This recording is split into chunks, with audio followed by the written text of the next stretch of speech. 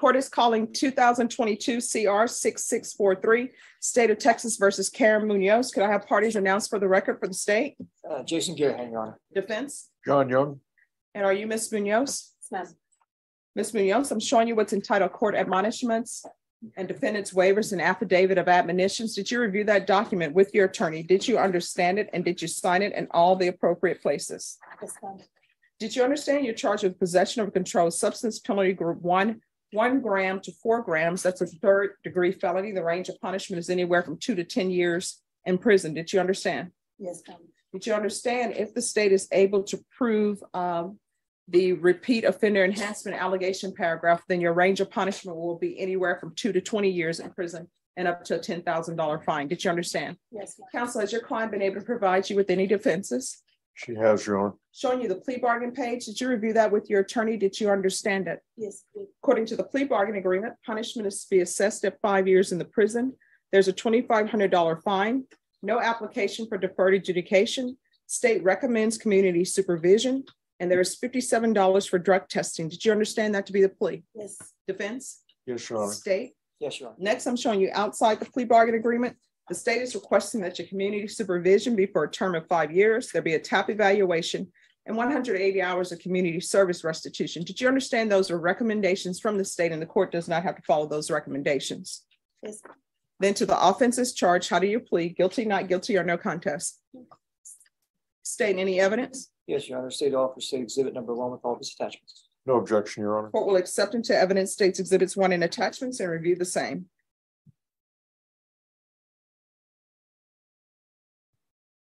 All right, after reviewing states exhibits one and attachments. I'm sorry, with regards to the repeat offender enhancement allegation, how do you plead to that? True or not true? I'm sorry? Did you say true? yes, ma'am. All right. After reviewing states exhibits one and attachments, the court will find there's sufficient evidence to find you guilty. The court will find you guilty. The court will find the enhancement allegation true based upon your plea of true and based upon states exhibits one and attachments. Are we proceeding within uh sentencing? No, Your Honor, we're asking for a forty-five day delay on the PS, PSI. All right, state, Uh, States will defer to the court on uh the PSI. It is a agreed five over five, Your Honor.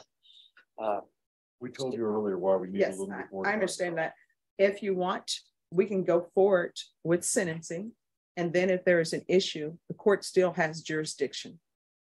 And I would, I would prefer, Your Honor, if we gave her some uh flexibility here before we impose sentence. Okay. All right, we'll reset it for thirty days. Thank you, Your Honor. And the information that needs to be uh turned over, that needs to be done before that thirty day time Thank period. Honor. If not, then we will go forward with sentencing. What date? I can do the seven. All right, we're coming back on February seventh at nine AM. And Ms. Ferguson will give you um the reset form. Right No. PSI. Uh, Ms. Munoz, if you're drug tested today, what are the results going to be? I'm not, I'm sorry. No, I'm not doing. Okay. All right, we'll see you back on February seventh. All right, the court is calling two thousand twenty-two CR six six four three. Uh, everyone, please whisper, State of Texas versus Karen Munoz. Can I have parties announced for the record for the state Nick Wilkes to the state, defense? John Young, for the defense. And are you Karen Munoz? Yes, ma'am. You entered a plea on January tenth of no contest, applied for probation. The court found the enhancement true Yes, based ma'am. upon your plea of true. And then you did not show up for sentencing. And so, Told me that she missed the date. That, that's all, Your Honor. And then she just got scared. all right, according to the plea bargain agreement, punishment is to be assessed at five years in the prison. There is no application for deferred adjudication and the state is recommending community supervision. Uh, was there a TAP evaluation in this case or no? I don't believe so, Your Honor. I think it was just set for sentencing. Okay, She has a, a, her own business and she wanted to get it set up so that she could, uh, in case she decided to do something other than probation. Okay, let me see here. All right. Anything else you wish to say on behalf of your client? No, Your Honor, would ask you to follow the agreement. All right, can you raise your right hand for me, please? Do you solemnly swear affirm the testimony you give will be the truth and nothing but the truth, so help you God? Yes, ma'am, Your Honor. All right, you can lower your hand. So why didn't you show up for court? I came on the fourth, February the fourth, and it was closed, and they gave me a, a, a resentencing date. I thought was for the tenth on my birthday, but it was for the seventh of February. And by then I already had the warrant, and I was just like, this, this warrant has plagued me. I'm glad that I'm here and can get this over with. I just, I need to get it behind me and No, you hopefully were, get 'em- s- you were set for February seventh. There was no fourth date. No, I came on the fourth, on February the fourth, they gave me a resentencing, and I thought it was for the tenth, the, the next pay, the No, no, next. no. What I'm saying is on January tenth, I originally set you on February seventh. Because that's why it's written here. I still have the paper, um, the pink paper, but I came on the fourth. I was just a miscommunication, I guess, on my behalf. All right. Are you employed? Yes, I have my own business. It's a removal Okay, stop waste. talking so fast. Sorry, nurse. All right. So what do you do? I remove industrial waste And how long have you been doing that? since November eleventh of twenty twenty-one.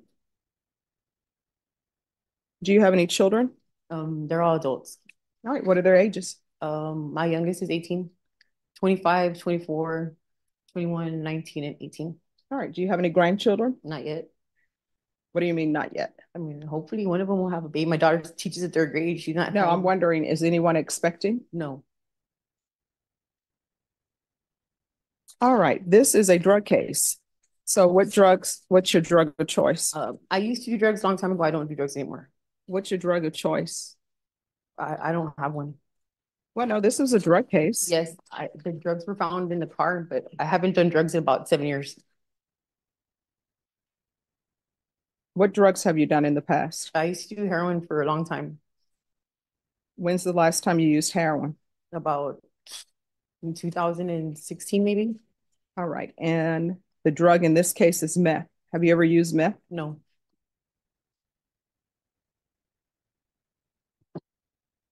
All right. So you're the only person in the vehicle in this car. yes, The officer's saying that they found the drugs on the center console in plain view. So how could you not know there was meth in the vehicle? because it was like two o'clock in the morning. I was gonna go buy a loaf of bread and it was not my car. It says there was cr- crystal-like substance next to E1 with a torn baggie in the cup holder.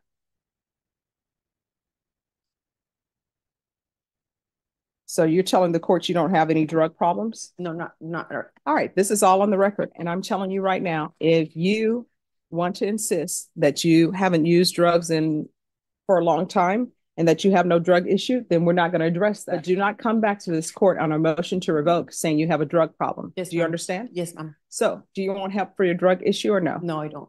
Okay. Uh, in probation, if you'll make a notation that she has no drug issue? Yes, All right, this is what the court is going to do. The court is going to sentence you to five years in the prison, suspended and probated for five years. There's a twenty-five hundred dollar fine. That will be probated. There's to be regular reporting by Zoom or in person. I'm going to want random monthly UAs. Proof of employment within 30 days of release. There's to be no employment as a home health care provider or with minors. 180 hours of community service restitution. If she wishes, she can buy out of that at $7.25 per hour. And I'm going to suggest the San Antonio Food Bank, but if there is another charity you would like that donated to, you can let probation know. And if it's on the approved list, then it can be for that. I just choose the San Antonio Food Bank because usually there's a shortage of food. Your Honor, is she allowed to continue her business as the employment? Yes, as long as it's not as a home health care provider or with minors. Thank you, Your Honor. There's to be no unsupervised contact with minors. I'm going to want field visits one time per month. for three months. And then probation at your discretion. Uh, probation, is there anything else she needs? Okay. All right, anything else you need from the court to be successful? Thank you, Your Honor. Anything else you need? No. All right, We can go off the record. So what's the tattoo about? It was just a, my son passed away. It was only God can judge me. It was long when I got it. Okay, I'm sorry to hear about that. And then the names? My kids, Okay. And then the chest? my son. Okay. All right, thank you.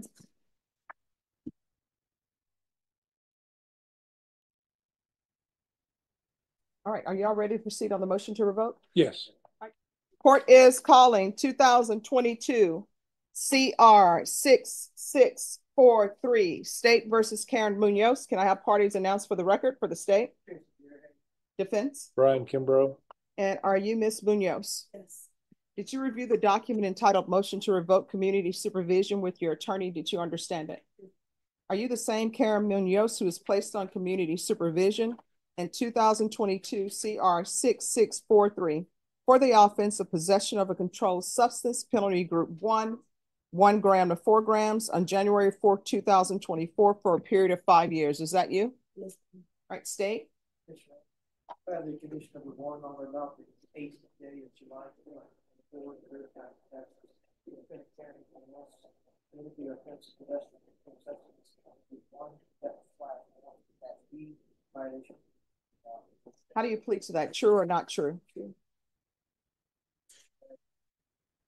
Any objections? No objection. Did you understand by pleading true to violation of condition number one, the court could find it true, grant the motion, and send you to prison for up to five years and a twenty-five hundred dollar fine?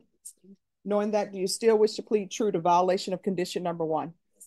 Court will find violation of condition number one true. Is there a proposed agreement? Yes. And what is the proposed agreement? is continued individual deny the motion. And then the underlying to include Esperanza Court evaluation. And the state will take into consideration clause number two thousand twenty-four EF zero seven nine four six, Your Honor. That's correct, Your Honor.